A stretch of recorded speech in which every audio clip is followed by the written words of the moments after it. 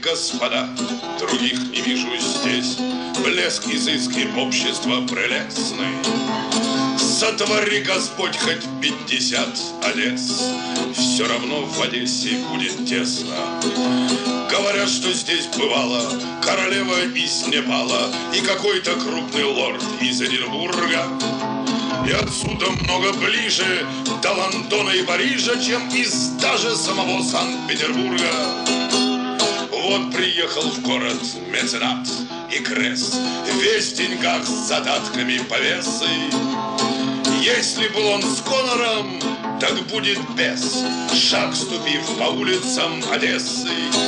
Из подробностей пикантных две Мужчин столь элегантных В целом свете вряд ли встретить бы смогли вы.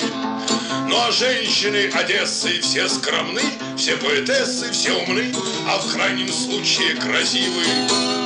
Пушкин величайший на земле поэт Бросил все и начал жить в Одессе.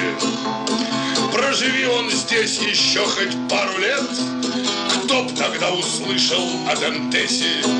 Нет прохода здесь, клянусь вам, от любителей искусства, И об этом много раз писали в прессе.